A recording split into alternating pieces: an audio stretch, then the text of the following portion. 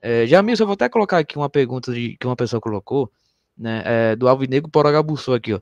Pergunta se ele quer abrir o clube para sócio torcedor poder votar. Aí o que, que o senhor tem, assim, de pensamento em relação a isso, né? De sócio torcedor poder votar? Eu até no começo aqui eu já falei que é um, um mar de 50 mil sócios torcedores, ele não pode estar alheio às decisões do clube.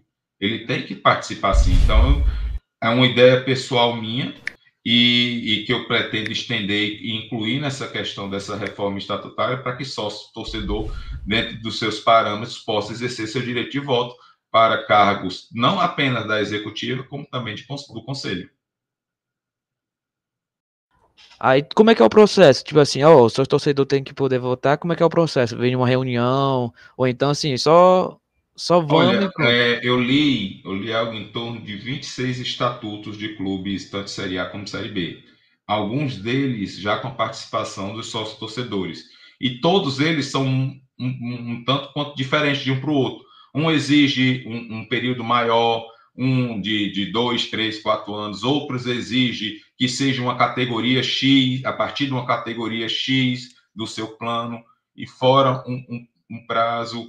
Outros exigem que eles voltam num primeiro grau, dependendo aqui, e voltam num segundo grau. Então é muito variada essa questão. Agora, é uma discussão muito rica, onde só quem ganha é o clube. Agora, essa discussão tem que haver. É, então, tá mais ou menos respondido, né? Mas se podemos dizer assim.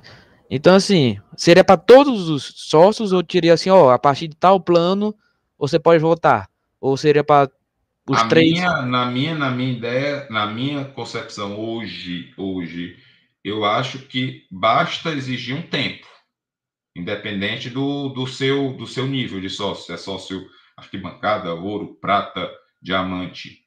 Você ter o tempo estabelecido, porque hoje o, o, o, o sócio proprietário existe um interregno para ele poder votar. Ele tem que estar adimplente por, salvo me engano, dois anos.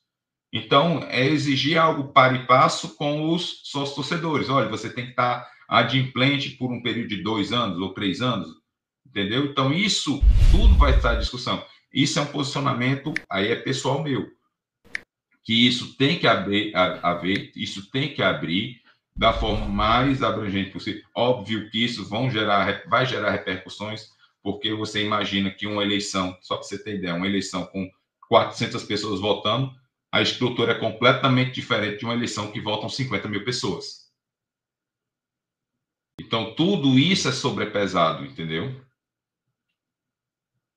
Ah, ah não é só uma coisa simples de, de, que em uma hora vai se resolver. É uma não. conversa de vários dias né, que várias semanas para poder chegar a uma conclusão, ó, tem que ser feito assim, assim, assim, para poder chegar a uma conclusão e beleza. Depois de tantas reuniões, várias reuniões, a gente chegar a um consenso, podemos dizer assim, para conseguir, ó, vai ser, vai ser dessa forma para poder conseguir votar.